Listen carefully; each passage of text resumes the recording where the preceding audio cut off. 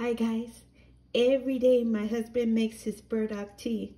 And so I took and replaced his tea with the burdock that I made. And let's see if he can tell the difference or even if mine is better. All right guys, we'll see.